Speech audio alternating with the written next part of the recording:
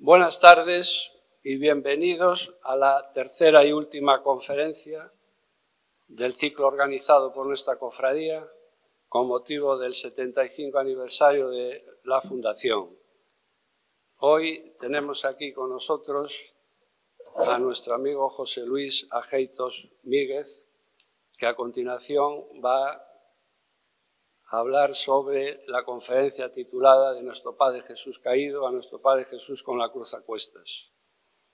Cuando José me propuso hace no mucho tiempo que lo presentara yo, debo decir, él ya lo sabe, que fue un gran placer, no solo por la relación que nos une, sino por su gran ayuda y colaboración en la gestión y organización de la cofradía. José, en adelante vamos a llamarlo José, es licenciado en Historia del Arte por la Universidad de Santiago de Compostela, donde obtuvo el grado de licenciatura sobre un trabajo único, inédito hasta el momento, desde el punto de vista histórico-artístico, sobre la Semana Santa de Pontevedra, tradición, memoria, restauración y catalogación. Toda su carrera profesional está vinculada a esta institución provincial, el Museo de Pontevedra, donde ingresó como colaborador en el año 95, hoy es funcionario de carrera, adscrito al Departamento de Educación. Escribió numerosos artículos en la prensa y en diversas revistas especializadas, destacando sobremanera la revista de la Fundación Rutas del Románico e impartió también muchas conferencias. Todo ello alusivo a la Semana Santa de Pontevedra. En 1993, bueno, destacando, que me olvido, su gran aportación en la colección que edita Hércules de Ediciones de La Coruña, la Semana Santa de Galicia, en el tomo tercero que describe con todo detalle todos sus conocimientos sobre la Semana Santa de Pontevedra, que son muchos. En 1993 da el paso, ingresa en nuestra cofradía. En el año 99 es nombrado secretario, en el 2009 es nombrado vicepresidente, cargo que ostenta en la actualidad, y también colaboró muchísimo en la Junta Coordinadora de las Cofradías Penitenciales de la Semana Santa de Pontevedra, desde el año 2002 al año 2013. Nombrado comisario encargado de los preparativos de todos los actos conmemorativos del 75 aniversario, es, sin temor a equivocarnos, la persona que tiene más conocimientos sobre la Semana Santa de Pontevedra. Y además, añado yo, que es un gran apasionado de la misma. José, tienes la palabra y muchas gracias por su asistencia.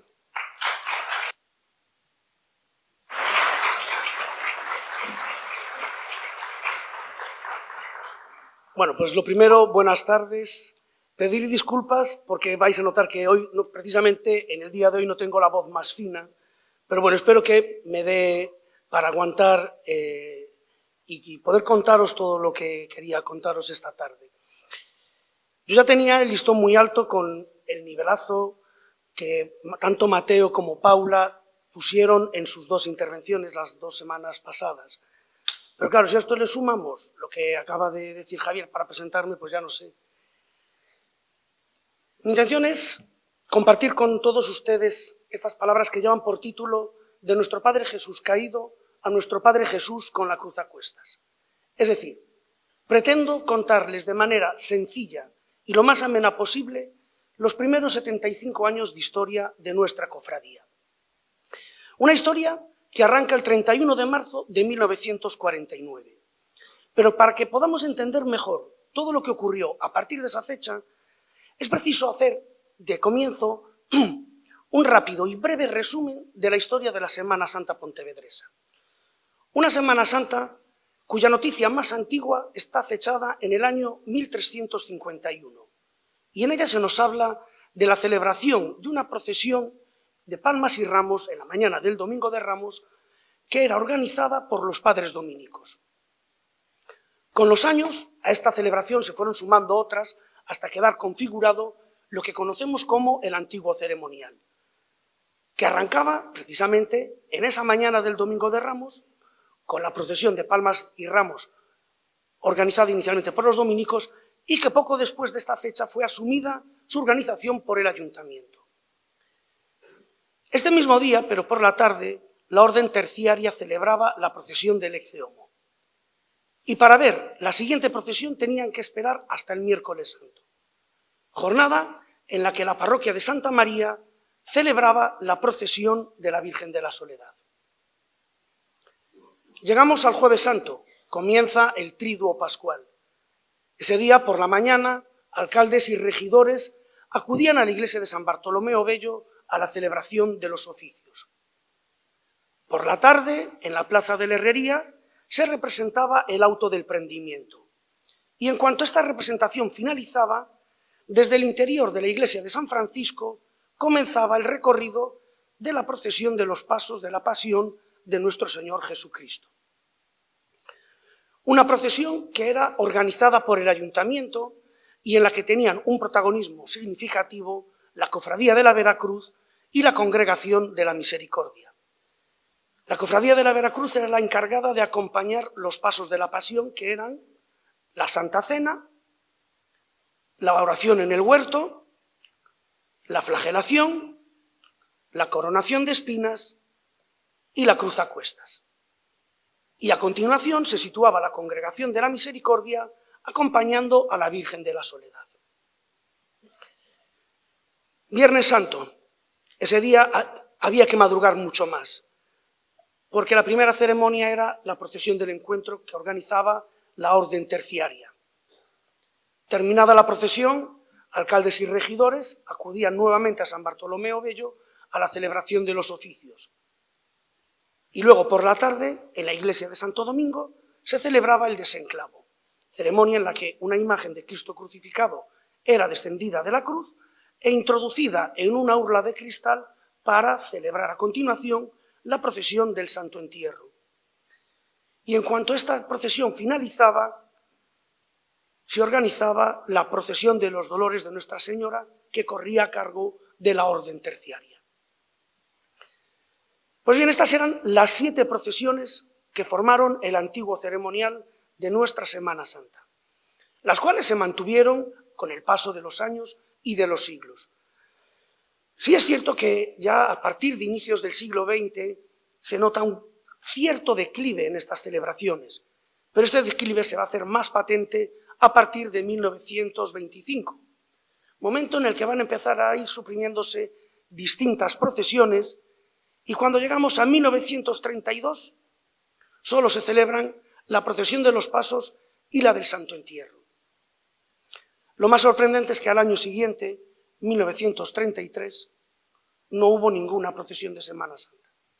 Desconocemos el motivo por el cual no hubo ninguna procesión ese año. Lo que sí sabemos que al año siguiente, 1934, el párroco de Santa María, don Jesús Mansilla Fernández, se encargó de organizar la procesión del Santo Entierro con las imágenes de Cristo yacente y la Virgen de los Dolores. Las crónicas de este año nos hablan de un éxito de participación de fieles impresionante. Fieles tanto en las filas de la procesión como en las calles viendo la procesión. Y ello a pesar del incidente que tuvo lugar cuando la procesión estaba pasando por la plaza de la Herrería, momento en el que unos individuos arrojaron unos petardos cuya explosión hizo que las personas que estaban allí congregadas huyeran rápidamente. No hubo que lamentar daños ni personales ni materiales y la procesión se reorganizó y pudo finalizar su recorrido. El éxito de este año hizo que el pueblo pontevedrés en 1935 pidiese a don Jesús Mansilla que volviese a encargarse de organizar la procesión del Santo Entierro, como así tuvo lugar. Pero, llegados al año 36, vísperas de la guerra civil en España, la inestabilidad política que se vivía por todo el país hizo que se decretase que no se celebrase ninguna procesión de Semana Santa para evitar posibles altercados o incidentes. Curiosamente, en el año 37 vuelve a celebrarse en Pontevedra la procesión del Santo Entierro, pero ahora asumida su organización por el ayuntamiento. Desde entonces y hasta el año 1948, esta va a ser la única procesión de Semana Santa que se celebra en nuestra ciudad. Y año tras año las crónicas nos hablan de un éxito rotundo en cuanto a la organización y en cuanto a la participación. Y como yo he comentado en más de una ocasión, desde el año 37 y hasta el año 48 se fue cocinando a fuego lento un caldo de cultivo para que llegados a ese punto otra persona diese un paso más hacia adelante. Solo que el paso que había que dar ahora iba a ser ya un paso de gigante. Y se necesitaba una persona que tuviese esa idea, pero esa persona necesitaba de la colaboración de otras personas que le ayudasen a poder materializarla. Y la persona que, tras la Semana Santa de 1948, tuvo la más que brillante idea de que Pontevedra, su ciudad natal, volviese a celebrar sus tradicionales procesiones de la Semana Santa, fue el artista nacido en 1906 y que desde 1947 ejercía como coadjutor en la parroquia de San Bartolomé, que no es otro que don Luis Pintos Fonseca. En el momento en el que Pintos Fonseca tiene esta idea, lo pone en conocimiento de su círculo más cercano de, amistades, entre quienes estaban, entre otras personas, Figueira Valverde, José Luis Olmedo o Vicente Riestra Calderón, los cuales automáticamente se involucraron. Y empezaron a tener reuniones en las que hablaban de cómo ejecutar este proyecto. Y en una de esas primeras reuniones fue Filgueira Valverde el encargado de contarles a los que allí se encontraban cómo eran las antiguas procesiones, haciendo algo parecido a lo mismo que yo mismo acabo de hacer con todos ustedes. Supongo que Filgueira en esa reunión se explayaría mucho más, yo aquí he querido ser mucho más concreto y mucho más resumido. Y entonces, después de esa reunión, empezaron a marcarse la hoja de ruta. Tres grandes tareas que había que abordar. La primera, qué procesiones se van a celebrar. Y así acordaron que la mañana del Domingo de Ramos hubiese una procesión de palmas y ramos que saldría de las dos iglesias parroquiales que en ese momento había en Pontevedra. Santa María y San Bartolomé.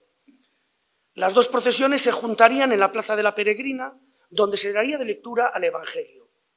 Y tras el Evangelio, cada procesión regresaría a la iglesia de la que había partido. Miércoles Santo se celebraría la procesión de la Virgen de la Soledad. El Jueves Santo, la de los Pasos, y el Viernes Santo, la del Santo Entierro. Con lo cual ya tenemos la primera tarea completa. Ya sabemos cuáles son las procesiones que se van a celebrar. Segunda tarea, las imágenes que van a participar en estas procesiones y sobre todo los pasos de la procesión del jueves santo. Y es que esas imágenes y pasos estaban guardados y expuestos al culto en el interior de la iglesia de la Virgen del Camino, iglesia que en 1936 había sido demolida.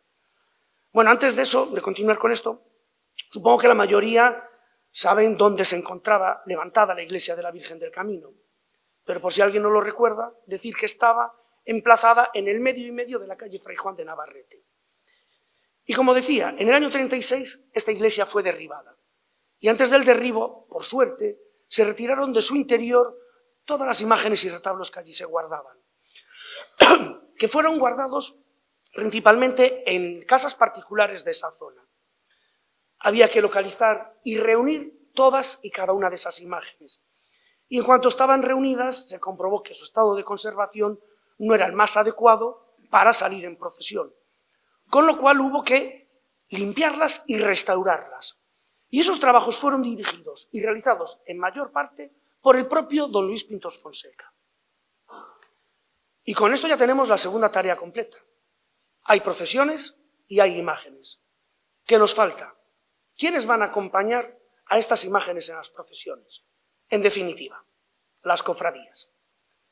Bien, pues cuando empezaron a trabajar en la restauración del ceremonial, en primer lugar se contactó con la Cofradía del Santísimo, cofradía fundada en 1916 para rendir culto al sacramento y que además desde 1940 venía encargándose de organizar la procesión del Corpus Christi.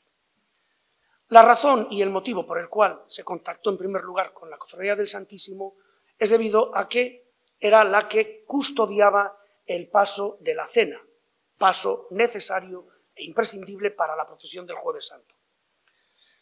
Al mismo tiempo, Filgueira, cuando en esa reunión expone y explica cómo era la antigua Semana Santa, lógicamente habla de la Cofradía de la Veracruz y de la Congregación de la Misericordia. Entonces lo que se planteó en ese momento fue refundar estas dos cofradías, pero deciden unificarlas en una misma vocación de Veracruz y Misericordia. Y finalmente, el 4 de abril de 1949, en una reunión que se celebró en los salones de la parroquial de San Bartolomé, quedó fundada esta cofradía de Veracruz y Misericordia. Y cinco días antes, 31 de marzo, en este edificio se celebra una reunión. No sé si alguien reconoce este edificio. Como pista, decirles que hace unos meses estuvo a punto de ser demolido. Es el edificio que se levanta en el número 11 de la calle Michelena, haciendo esquina con la calle Gutiérrez Mellado. Edificio que en 1949 era la sede de la jefatura provincial del movimiento. Y edificio en el que un grupo de pontevedreses se reunió para fundar una nueva cofradía penitencial. Bien, gracias a este artículo publicado en la revista que editó la Junta Coordinadora en 1953, teníamos eh, los apellidos de algunos de los cofrades que fundaron la cofradía. El resto de nombres, hasta completar esta lista formada por 30, fueron aportados por distintos cofrades que habían pertenecido a la cofradía en esos años. Pero a veces ocurre que las personas que nos dedicamos a estudiar, a escribir y a hablar de la historia, a veces nos vemos obligados a reescribir. Y cuando hacemos eso es porque tenemos una prueba documental. Pues esto fue lo que me ocurrió a mí preparando esta conferencia. Hace unos meses estaba haciendo una búsqueda en la página web de los archivos de Galicia y me encontré con una referencia documental a nombre de la cofradía en el Archivo Histórico Provincial de Pontevedra. Ese día, el presidente de la cofradía y yo nos fuimos hasta el Archivo Histórico porque en esa referencia no especificaba qué documentación se, se guardaba ahí. Ponía un rango de años. Lo que pensamos fue que sería el primer libro de actas. Pero lo que nos encontramos cuando llegamos al archivo fue con esto. Otro libro, Registro de Socios. Al abrirlo, un índice manuscrito, debajo del cual está pegada la estampa recordatorio de una misa de comunión general que celebró la cofradía en el año 54 en su sede canónica, la Basílica de Santa María. Y en cuanto pasamos a la página número 2, que aparecen los nombres de todas las personas que ingresaron en la cofradía desde su fundación y hasta el 1 de junio de 1955. Lo que supuso el haber encontrado este libro es que de la lista de estos 30 cofrades nos vemos en la obligación de retirar 14 nombres. Y en su lugar tenemos que poner otros nombres distintos. De tal forma que los nombres de los cofrades fundadores ordenados alfabéticamente son Ambrosio Arias Blanco, Sergio Borrajo Palacín, Emilio Boullosa Sorey, Apolinar Bugallo Sineiro, José Carballo Valcárcel, Clemente Carrascal Sánchez, Julio Conde Quintas, Vicente Couceiro Amor, Manuel Crespo Alfaya, Pedro Diego Pérez, Luis Estevez Martínez Rocafort, Evaristo Estevez Vieira, Eliodoro Feijó Mantilla, Eduardo Fernández Autrán, José Fernández Correa, Celso Emilio Ferreiro Míguez, Mario Gallego Conde, Ignacio García Tuñón Quintana, Juan Lastres García, Fernando López Viaño, Ramón Marcos Franco, Luis Míguez Leitón, José Muiño Sieiro, Salvador Omil Estevez, Juan Manuel Pardo Galloso, Saturnino Benito Paz Peón, Félix Pérez Angulo, Alejandro Pérez Rey, Antonio Puig Gaite, José Puig Gaite, Juan Puig Gaite, Enrique Quesada Munuera, Martín Rey Fernández, Santiago Riestra Peinador, Julio Ribeiro Franco, Victoriano San Martín Torres, José Torres Salgueiro, Luis Torres Salgueiro, Luis Torres Villar, Enrique Vázquez de Silva, Evaristo Vázquez de Silva y Fernando Vide Romero. Estos son, por lo tanto, los nombres no de los 30, sino de los 42 cofrades que ese 31 de marzo de 1949 fundan una nueva cofradía bajo la advocación de nuestro Padre Jesús caído, excombatientes. Y es que, aunque en el programa de la Semana Santa del 49, si se fijan en el orden procesional del Jueves Santo, en cuarto lugar figura Cofradía del Buen Jesús excombatientes. Esta nunca fue advocación de la cofradía. Su primera advocación fue nuestro Padre Jesús caído. Y es combatientes por una razón muy sencilla. Para poder pertenecer a la cofradía solo podían pertenecer personas que habían participado en cualquiera de los frentes de la Guerra Civil Española. Pues bien, quedaban pocos días para la Semana Santa. Tan pocos como que el 10 de abril era Domingo de Ramos. Y aún así a todo dio tiempo a diseñar y a confeccionar los hábitos que vistieron los cofrades fundadores. Unos hábitos formados por sayón marfil, capuz y cíngulo negro, llevando en la manga izquierda del sayón el parche con el emblema de la Hermandad de Excombatientes, formado por una de cinco flechas que lleva superpuesto un casco con una laureada.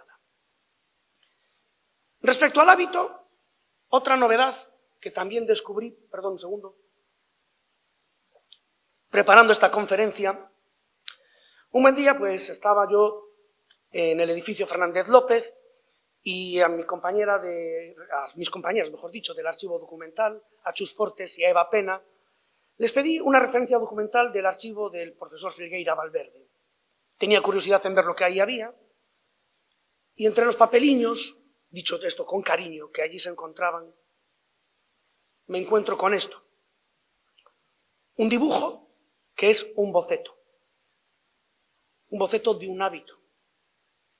Y de un hábito de una cofradía. Lo curioso es que, fíjense lo que pone arriba.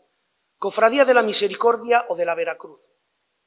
Porque esto yo lo he visto en más de un documento que cuando, antes de que se constituyese oficialmente la Cofradía de la Veracruz y Misericordia, hay documentos en los que aparece Cofradía de la Misericordia y de la Veracruz.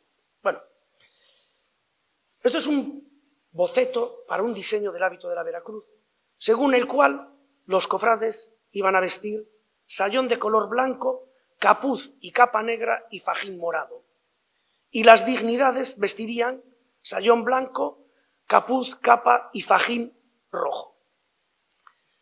Desconozco si influyó o no influyó el diseño del hábito de nuestra cofradía en que este diseño propuesto para la cofradía de la Veracruz y Misericordia fuese descartado. Porque lo que todos sabemos es que desde 1949 los cofrades de la Veracruz y Misericordia visten sayón y capa negra con capuz y cíngulo morado. Y llegamos al jueves santo, 14 de abril, día en el que la cofradía sale por primera vez en procesión, y lo hace acompañando dos pasos. El paso del Ecceomo, el antiguo paso de la coronación de espinas, y el paso de la caída, el antiguo paso de la cruz a cuestas. Paso que, tal y como lo vemos en esta fotografía, es el aspecto que presentaba desde 1900, solamente formado por las imágenes de Cristo y del Cireneo. Pero recordar algo que ya apuntó Mateo Fontán en su conferencia, en el año 1900, a este paso se le retiró una tercera imagen, conocida popularmente como Carracedo, un soldado romano que iba situado delante de Cristo tirando de la soga que llevaba atada al cuello. Aquí tenemos la primera representación gráfica de esta imagen, publicada, este dibujo, en el año 1890 en el diario de Pontevedra. Y hace unos meses, gracias a la colaboración y a la ayuda de Cristina Chávez, otra compañera de esta casa, responsable del archivo gráfico, nos puso a Mateo y a mí en la pista de este dibujo de Carlos Sobrino, en el que en el centro aparece el antiguo paso de la cruz a cuestas con sus tres imágenes. Y sí, ya ven que aquí en este dibujo Carracedo lleva una trompeta. En las descripciones que tenemos textuales de esta imagen nos dice que llevaba una trompeta que se podía hacer sonar desde debajo del trono. Y pasamos al Viernes Santo. Y ese día, desde 1949, nuestra cofradía tiene el honor y el privilegio de poder acompañar la preciosísima imagen de Cristo yacente que talló en 1915 Joan Carrera y de Junder. Les presento ahí la fotografía que se publicó el 1 de abril de 1915 en la correspondencia gallega, una fotografía que se hizo recién llegada la imagen a Pontevedra desde Barcelona. Y también hace unos meses, gracias también a la ayuda de Cristina Chávez, hemos podido localizar en el archivo gráfico del museo la placa de vidrio original hecha por Joaquín Pintos.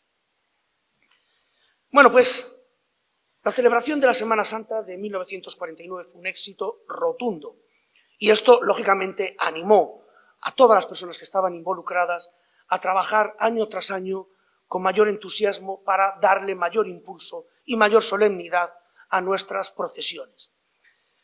Para 1950, nuestra cofradía presenta dos novedades, visibles ambas en la fotografía más antigua que conservamos, que forma parte de la colección de Javier López Mayán, en la que vemos a nuestra cofradía el jueves santo subiendo por la calle Pasantería. Las novedades son, primero, desde entonces, el jueves santo nuestra cofradía acompaña el paso de la cruz a cuestas, que pueden ver en el centro de la imagen. Y en 1950 es el primer año que pueden participar cofrades infantiles, que son hijos o huérfanos de excombatientes. Y en el primer plano vemos a los dos primeros cofrades infantiles, que además, como también comentó Mateo en su conferencia, durante estos años iban a cara cubierta, con capuz. Pasamos al año 52, año en el que hay varias novedades.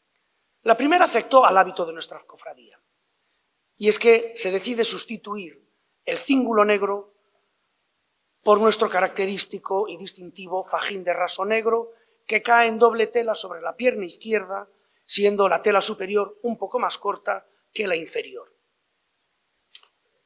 Pero si por algo está escrito con números de oro el año 1952 en la historia de nuestra cofradía, es por ser el primer año que pudimos acompañar en procesión la imagen de nuestro titular, la imagen de Jesús con la cruz a cuestas, que talló eh, José Puente Otero y que fue sufragada por el cofrade fundador Eliodoro Frijó Mantilla.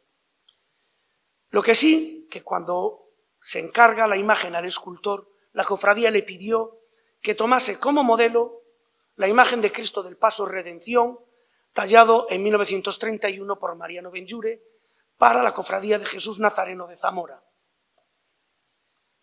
La referencia es más que evidente. Pero otra novedad que traigo de este año 1952 guarda relación precisamente con el título de la conferencia, de nuestro Padre Jesús caído a nuestro Padre Jesús con la cruz a cuestas, las dos advocaciones que, tiene, que tuvo la cofradía a lo largo de su historia. La actual advocación quedó oficializada en 1989 con la aprobación de nuestros actuales estatutos. Pero era una advocación que ya venía utilizándose desde años antes. De hecho, en los libros de actas más antiguos que conservamos figura ya esta advocación de nuestro Padre Jesús con la cruz a cuestas. Del mismo modo que también figura en una factura que conservamos del año 1956. ¿Podemos seguir retrocediendo? Pues hoy puedo decir que sí. Y decir una fecha concreta. 13 de marzo de 1952. Día en el que Filgueira Valverde le escribe una carta a Sánchez Cantón. Decirles que tanto Filgueira como Sánchez Cantón son fundadores de la Veracruz y Misericordia. en esta carta, Filgueira le habla a Sánchez Cantón de muy diversos temas, como acostumbraban hacer, el uno con el otro, y en uno de los apartados habla sobre la Semana Santa. ¿Y qué dice Filgueira Valverde? La sensación de las procesiones este año estará a cargo de la Cofradía de la Cruz a Cuestas. Eliodoro Feijó, dicen que con ayuda de Carlos, se soltó el pelo regalando un paso nuevo. Contra lo que pudiera esperarse, es muy noble, y creo que de lo, mejor que ha salido de los talleres santiagueses tan maleados. Es la figura de Cristo sola, de pie, con túnica blanca. Lo hizo un discípulo de Asorey, Rodríguez Puente, de quien nunca había oído hablar, que parece bien orientado. Llevarán unos 130 cofrades. Bien, de todo lo que apunta aquí Filgueira en esta carta, lo más destacado es el comienzo. Estará a cargo de la cofradía de la Cruz a Cuestas. Aunque eso sí, unos días antes, 23 de febrero, en otra carta que le escribe a Sánchez Cantón, hoy tendremos reunión de la coordinadora de Semana Santa. Al parecer los otros estrenarán un paso. Bien, y pasamos al año 1953, año en el que tenemos una noticia que cuando menos va a resultarles sorpresa o, algo eso espero. Una gran novillada el día primero organizada por la Cofradía de Excombatientes. Y es que, para el 1 de marzo de 1953, nuestra cofradía organizó un festival benéfico taurino, una novillada, en la Plaza de Toros de Pontevedra, con el fin de recaudar fondos para contribuir a los gastos de la Semana Santa. Este es el cartel de esa corrida, de, ese festival taurino, que fue publicado en el periódico Litoral. Tal era el interés de que fuese cuanta más gente posible a este espectáculo, que ese 1 de marzo del 53 el Pontevedra jugaba por la, por la tarde en Pasarón y se adelantó el partido a la mañana para que pudiese ir más público al coso de San Roque. Y resulta que, buceando en la hemeroteca, he podido localizar en el pueblo gallego esta fotografía en la que aparecen las señoritas de Fontaíña y Casal, vestidas de amazonas, posando con los diestros que iban a tomar parte en, ese, en esa novillada, momentos antes de salir a dar el paseillo por la arena del coso de San Roque. Sorprendente esto, ¿verdad? Bien, y pasamos al año 55 tenemos más novedades. La primera afecta a nuestro titular. Desde que se hizo en el año 52 hasta 1954, procesionaba en una sencilla plataforma de madera. En el año 55, los hermanos Rivas tallan un nuevo trono procesional que le da mayor realce a la imagen. Trono que era portado por ocho cofrades a hombros y se cerraron sus cuatro frentes con faldones blancos. En el faldón delantero iba el escudo de los excombatientes y en los otros tres faldones los escudos de los tres ejércitos. Siguiente novedad guarda relación con la procesión del encuentro. Esta procesión se había recuperado en 1950 y hasta 1954 la imagen de Cristo salía desde San Bartolomé acompañada por hombres y la Virgen de la Soledad salía desde Santa María acompañada por mujeres. El encuentro se escenificaba en la entrada de la calle Amargura. La novedad del año 55 es que nuestra cofradía y la de Veracruz y Misericordia comenzamos a participar activamente en esta procesión, acompañando nuestras respectivas imágenes. También desde el año 55, Cristo sale desde Santa María y la Virgen lo hace desde San Bartolomé. También desde el año 55, el sermón y el, el sermón del encuentro se celebra en la Plaza del Teucro. Pero durante años, desde 1955 en adelante, terminado el sermón del encuentro, las dos cofradías se unían en una sola, una tras otra, formando una única procesión que se dirigía hasta la Basílica de Santa María. En más de una ocasión lo he comentado, lo comento y lo comentaré. Yo pienso que esto es algo que deberíamos de tratar de recuperar. Y por último, en cuanto al año 55, la tercera novedad está en que el artesano pontevedrés Sebastián Santos fabrica dos faroles ciriales que desde entonces acompañan a nuestra cruz guía en la cabeza de las procesiones. Faroles en los que, en cuya base, Sebastián Santos dejó grabada su firma. Al año siguiente, en 1956, hay más novedades. Ya comentamos cómo desde el 49 la cofradía solo tenía el escudo de la Hermandad de Combatientes.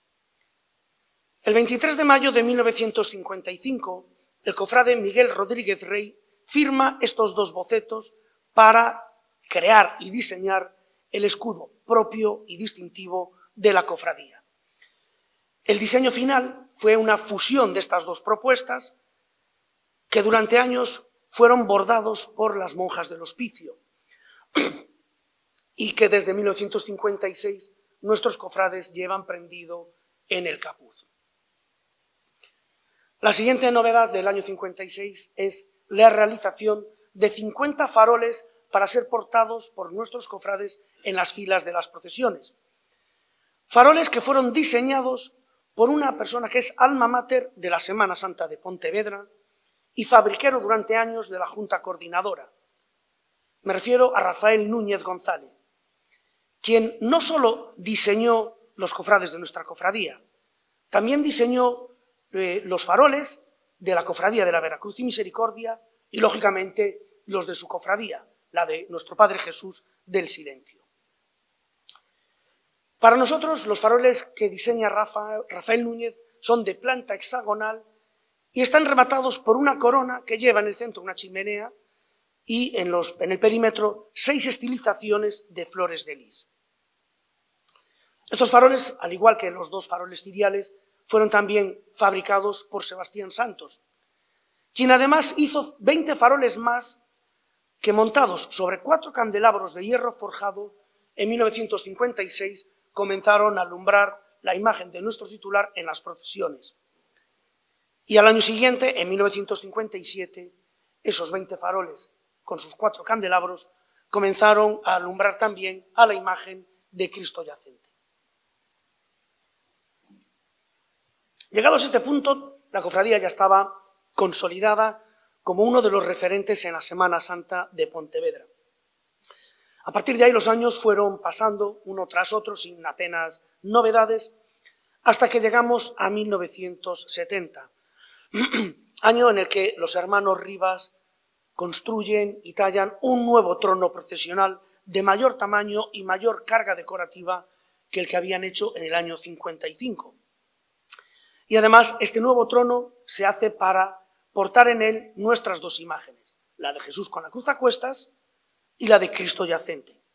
Pero eso sí, para la imagen de Cristo yacente fue preciso hacer una base a modo de sepulcro para darle mayor realce dentro del trono. Y trono que en sus primeros años era portado a hombros. Pero eso sí, ahora se necesitaba a muchísimas más personas que con el trono anterior, que solamente necesitaba de ocho. Y en estos años, eh, poder juntar y reunir a más de 20 personas para portar un trono, la cosa era muy complicada.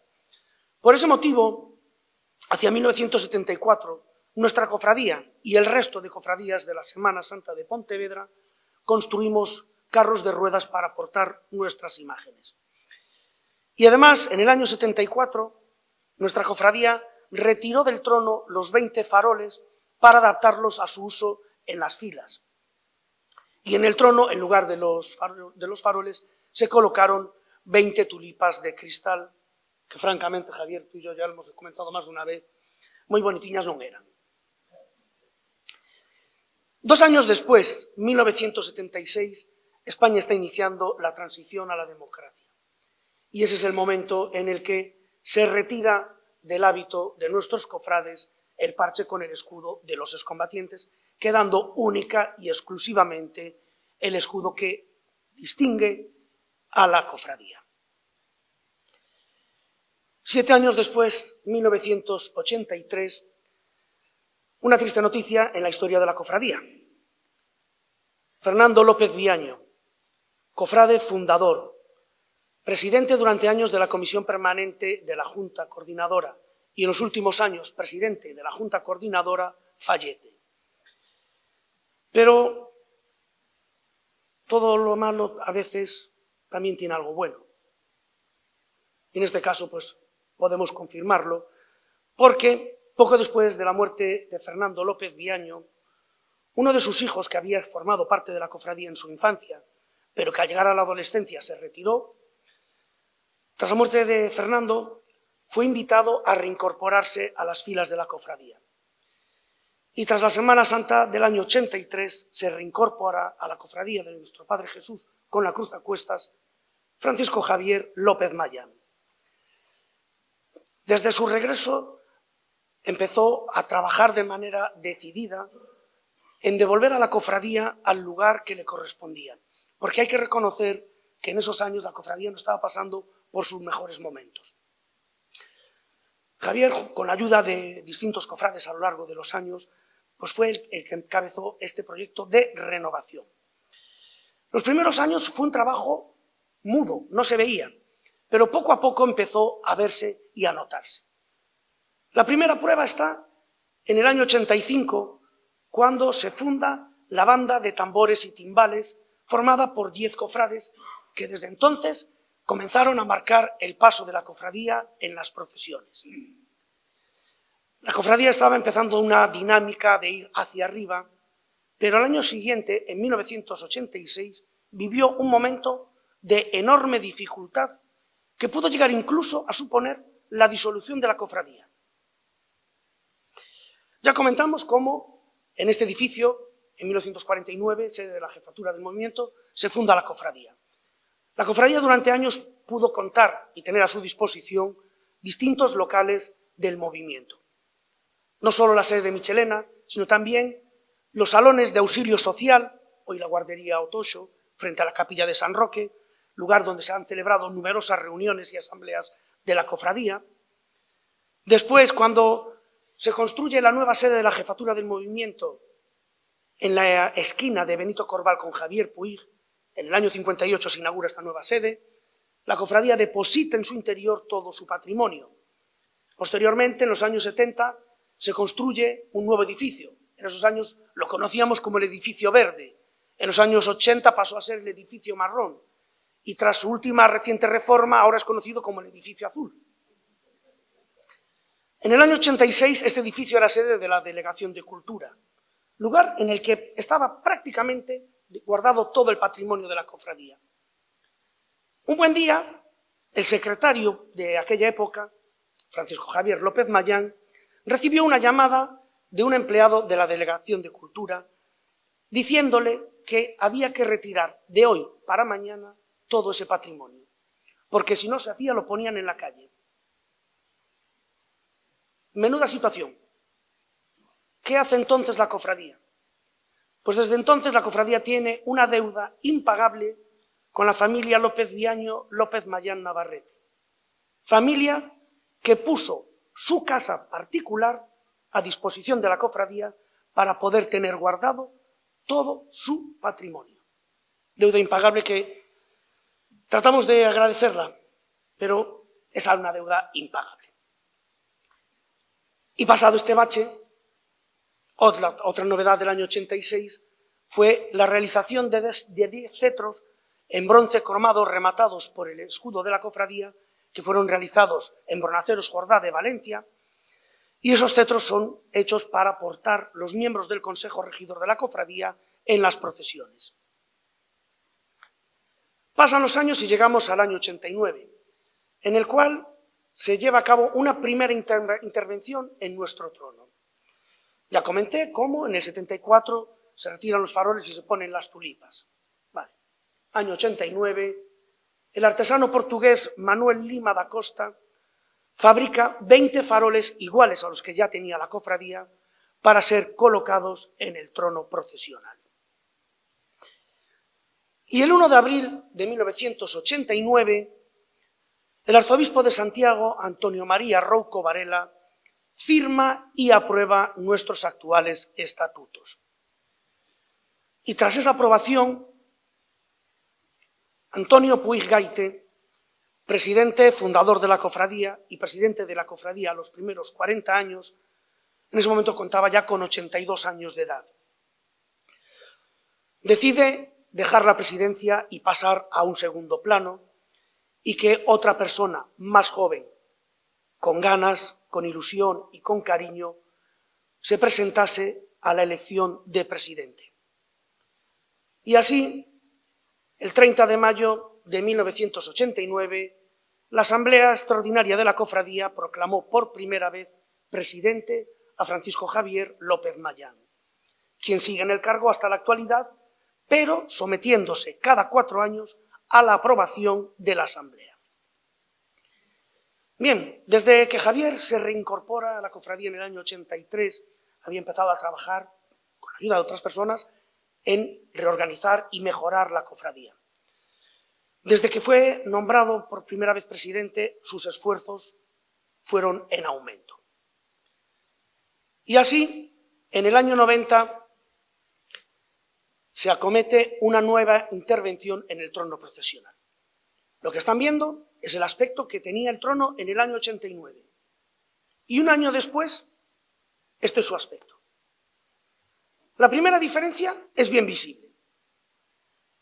En el año 90 se confeccionan unos nuevos faldones en terciopelo verde y pasamanería dorada, llevando cada faldón en el centro el escudo de la cofradía.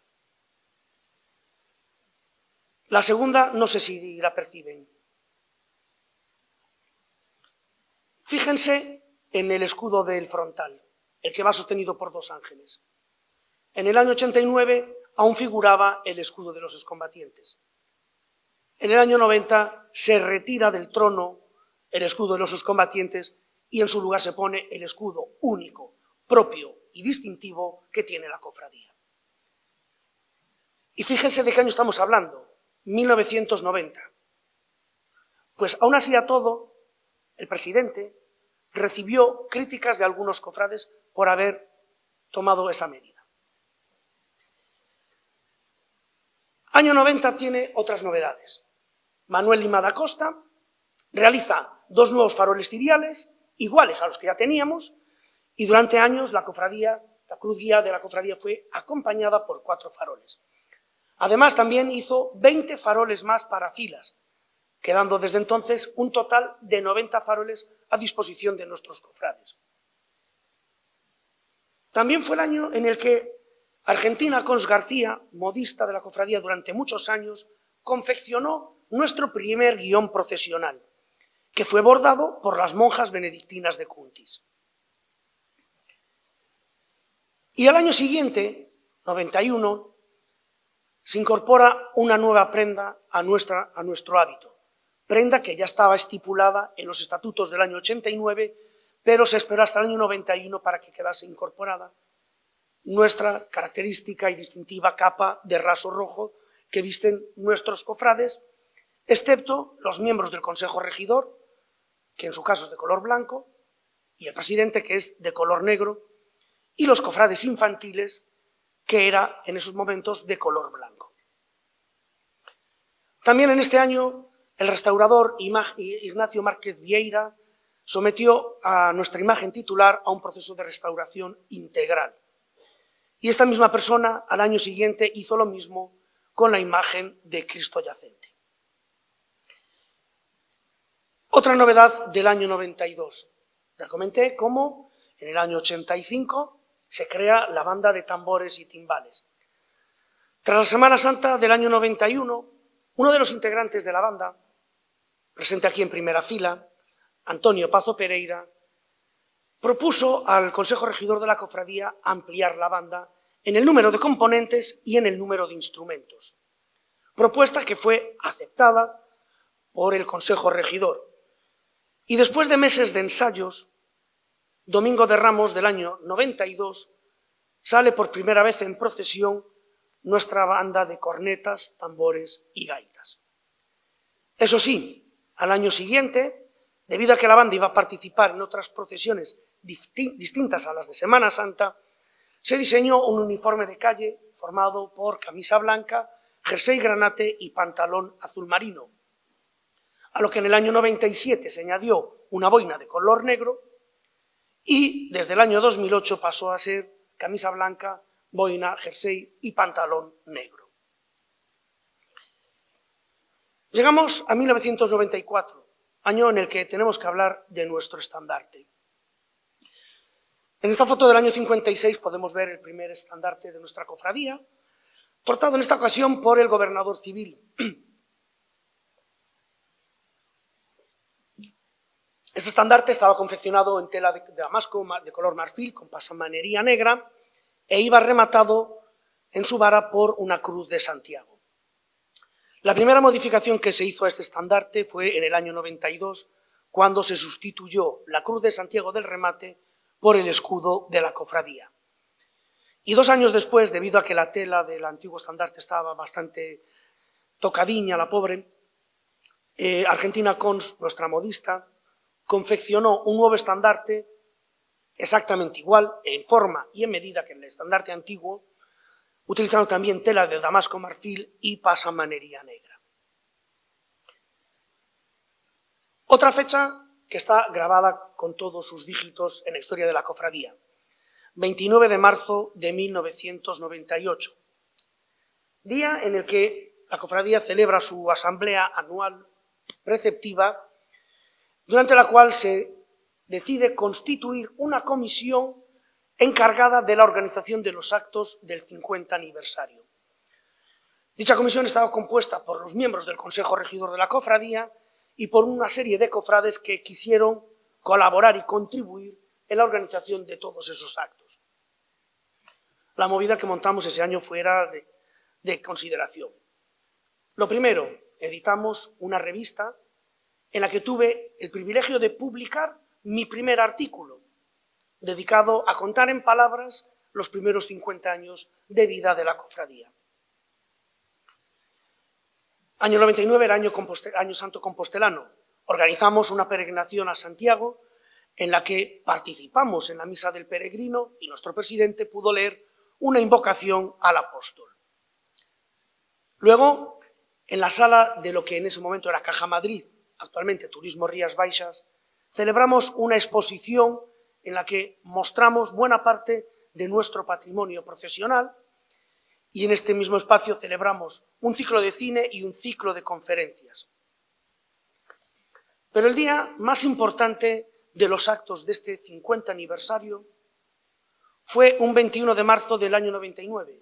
Es decir, hoy hace 25 años que la cofradía inauguró y el párroco de Santa María, don Jaime Bamonde, bendijo nuestra casa de hermandad, lugar en el que la cofradía desde entonces tiene su sede, no su sede canónica, pero sí su sede, su casa de hermandad, en la que se guarda todo el patrimonio de la cofradía, en donde se celebran todas las reuniones de la cofradía y en donde nos preparamos para las salidas procesionales. Y claro, llegados a este punto, podríamos pensar que, bueno, ya, ¿qué más hacer? Pero claro, es que estamos hablando que desde esta última fecha hasta el día de hoy van exactamente 25 años.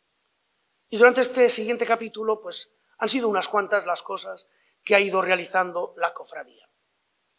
Por ejemplo, año 2002, teníamos un cetro presidencial precioso, realizado en bronce cromado, pero queríamos darle un nuevo aspecto. ¿Qué hicimos? Respetamos y conservamos, tal y como lo ven en esa fotografía, el cetro antiguo. Y encargamos una réplica del mismo, una réplica exacta, pero con una diferencia. El nuevo cetro es en bronce dorado y en bronce cromado. Y sí, la persona que aparece en las dos fotos es la misma, pero con unos cuantos años de diferencia. Otra novedad del año 2002 fue la creación de una nueva sección dentro de la cofradía. Desde hacía años contábamos en la procesión del Viernes Santo con la participación del Abrilat. Nos acompañaba su banda de música, un mando del Abrilat era invitado a portar el estandarte de la cofradía y seis guiones de compañías daban escolta a la imagen de Cristo yacente. Algo que quedaba preciosísimo, pero hablándolo entre nosotros decíamos que, claro, sí, con el Cristo yacente queda precioso, y por qué no también con el Cristo con la cruz a cuestas. Pero claro, no podíamos contar con la verdad los dos días. Y fue cuando ahí se nos ocurre crear nuestra propia escolta. Diseñamos y confeccionamos seis guiones que son portados por cofrades y que acompañan a, nuestros a nuestras imágenes en todas y en cada una de las procesiones. Delante, dos guiones en, raso rojo con la palabra pasión bordada. En el centro, dos guiones en raso negro con la palabra muerte. Y detrás, dos guiones en raso marfil con la palabra resurrección.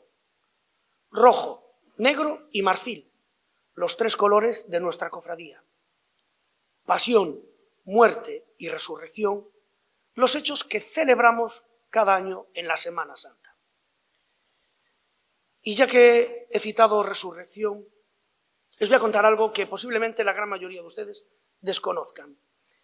Y es que allá por el año 89, nuestro presidente, en una reunión de la Junta Coordinadora, propuso que entre todas las cofradías pagásemos la realización de una imagen de Jesús resucitado para organizar y celebrar en la mañana del domingo de Pascua una procesión que se podría organizar de manera similar a cómo se viene organizando la del Domingo de Ramos.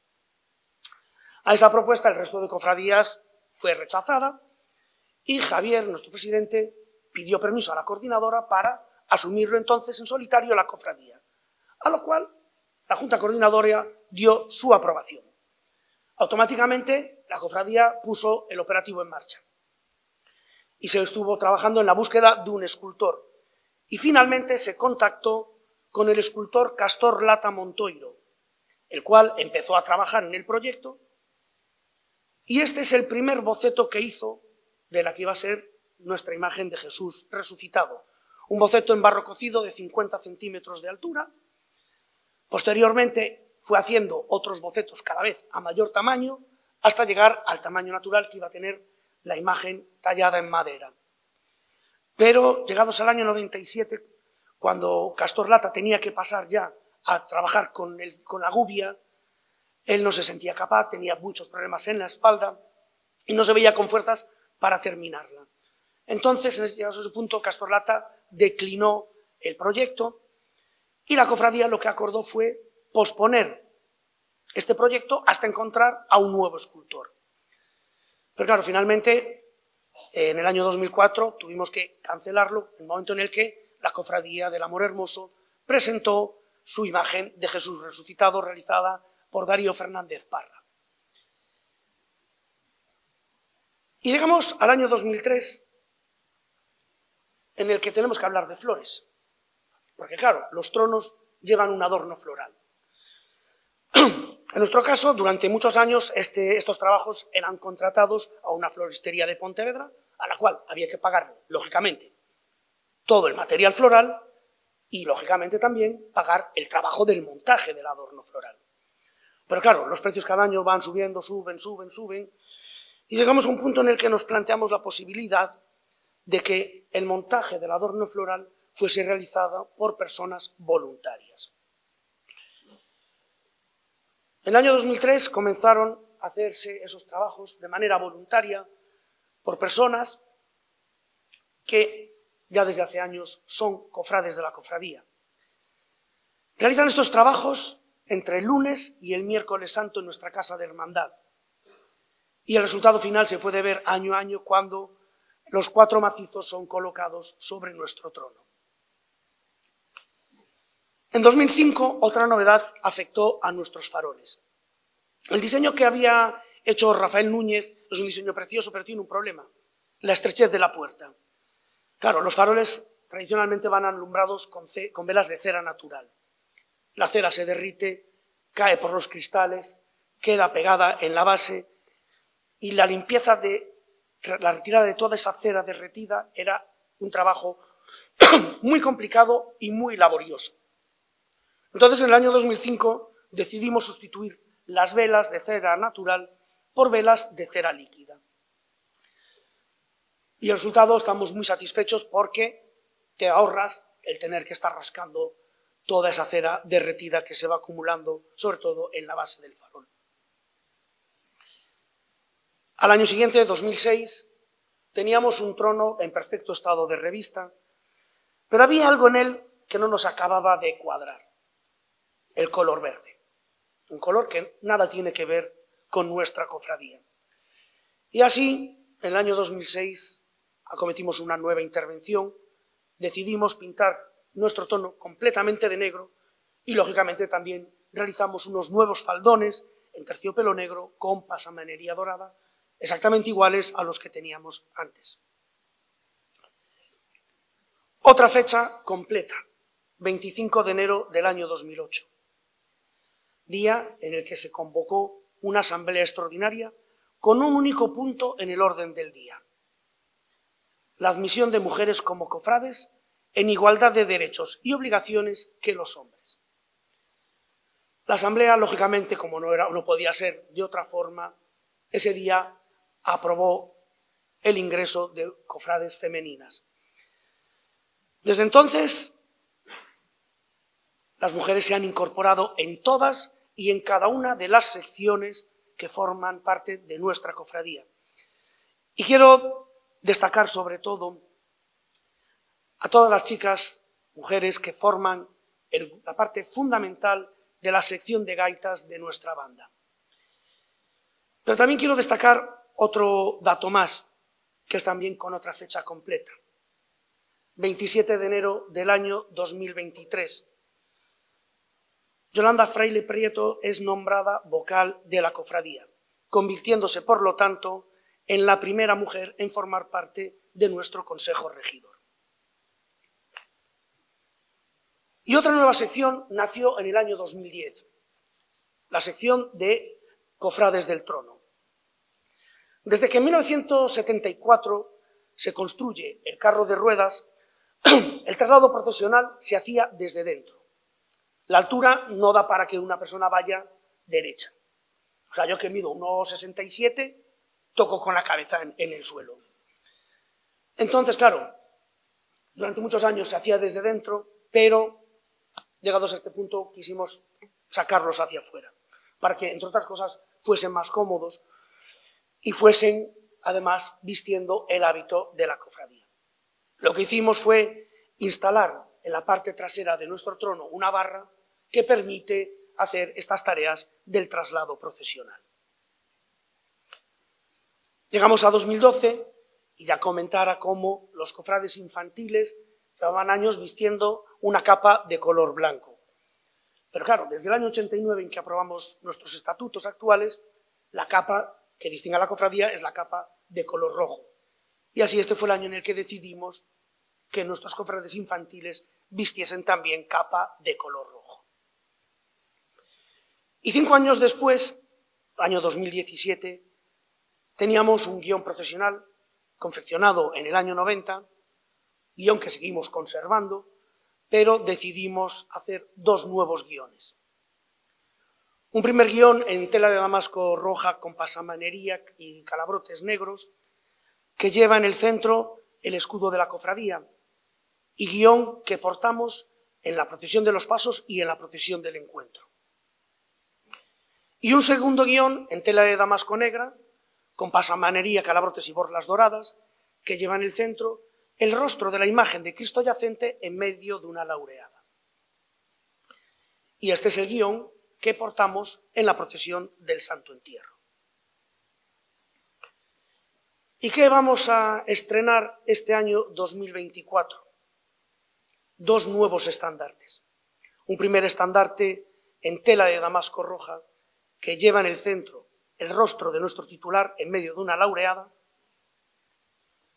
Estandarte que portaremos en la procesión de los pasos y en la procesión del encuentro, acompañado del estandarte propio de la cofradía, y un segundo estandarte en tela de damasco negra con pasamanería dorada, llevando en el centro el rostro de Cristo yacente en medio de una laureada.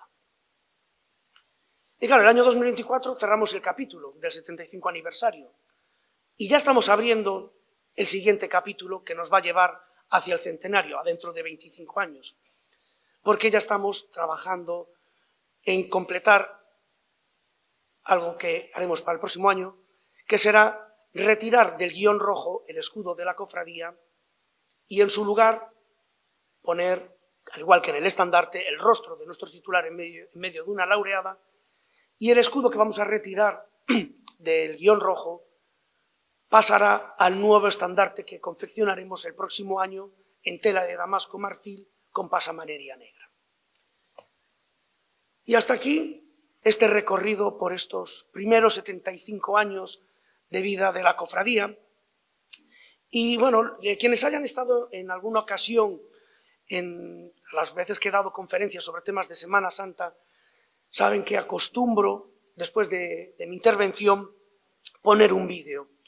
Y lógicamente este año no podía ser menos la ocasión, y este año he querido presentarles un vídeo que he preparado en homenaje a los 75 años de la cofradía.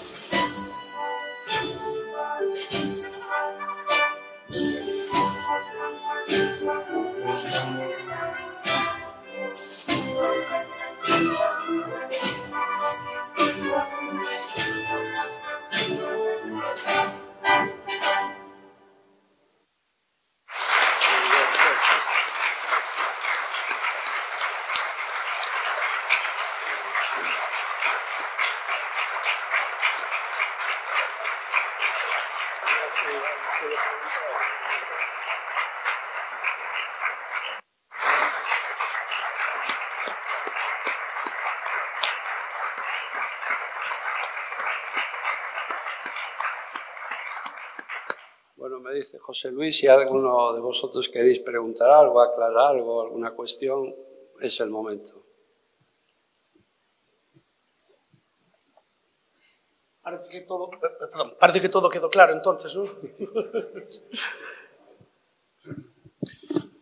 Hola, buenas tardes. Uh, al principio de todo hacía referencia al mantenimiento de las procesiones hasta principios del siglo XX, creo recordar.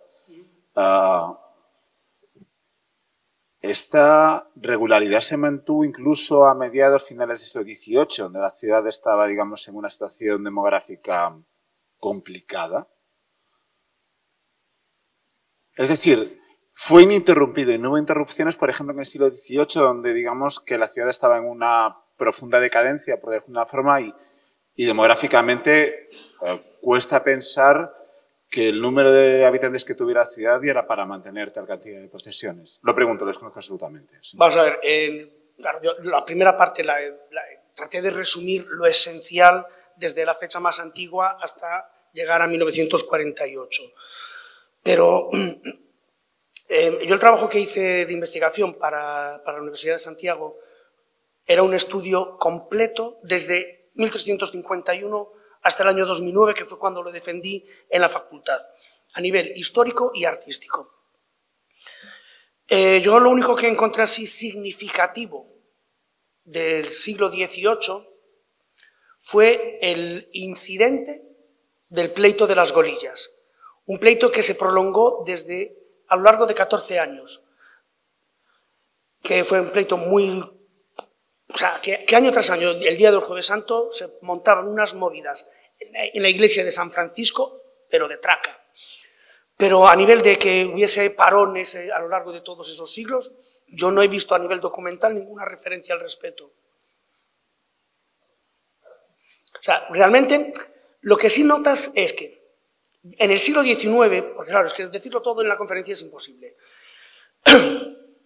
la primera Cuestión significativa. 1836. Exclaustración de los bienes de la Iglesia. El convento de San Francisco es desamortizado. La congregación de la misericordia queda totalmente disuelta en el año 836 a causa de la desamortización, con lo cual deja de participar en la Semana Santa. La cofradía de la Veracruz aún aguantó unos años más, porque la cofradía de la Veracruz era de patronazgo municipal. Entonces, sí es cierto que la Veracruz continúa unos años, pero a mediados del 19 también se disuelve. Entonces, claro, ya históricamente la procesión del Jueves Santo era, organizada por el ayuntamiento. Con la marcha de los dominicos en el año 36, que eran los encargados también de organizar la procesión del Santo Entierro, hubo unos años en los que no se celebró esa procesión, pero desde 1844 es el ayuntamiento el que se encarga de organizar esta procesión. Eh, llegamos a 1933, como ya comenté, no he encontrado ni en prensa, ni en actas municipales, ni en ningún sitio el motivo de por qué ese año no hubo ninguna procesión. Y luego ya, a partir del 34, 34 y 35, se encarga don Jesús Mansilla, 36 no hay procesiones, y desde el 37 hasta el 48 solo hay la del Santo Entierro organizada por el ayuntamiento. Esos serían los parones más significativos. Y ya desde el año 49, cuando se restaura todo el ceremonial, se crea y se funda la Junta Coordinadora, etcétera, etcétera, hasta la actualidad. ¿Alguna pregunta, algún comentario más? Bueno, yo me imagino que la noticia que comentamos del año 53, lo de la novillada, os habrá llamado bastante la atención. De hecho, eh, esa noticia, tanto el presidente como yo, era una noticia que conocíamos ya desde hacía muchos años, pero la suerte fue haber encontrado en el periódico Litoral el cartel y sobre todo haber encontrado en el pueblo gallego la fotografía, porque es que además la movida fuera considerable, porque eh, los toreros estaban hospedados en, un hotel, no, especifica en qué hotel de la ciudad estaban, y desde el hotel hasta la plaza de toros fueron a caballo, acompañados por las señoritas de Fontaine y de Casal, vestidas de amazonas, también montadas a caballo. O sea, la movida que se montó ese día fue considerable, más habiendo conseguido que el Pontevedra en vez de jugar por la tarde en Pasarón, jugase por la mañana. Y la plaza de toros estaba a tope. Sí, sí, sí. O sea, no dicen exactamente cuánta gente asistió, pero dicen que había un lleno importante en la plaza.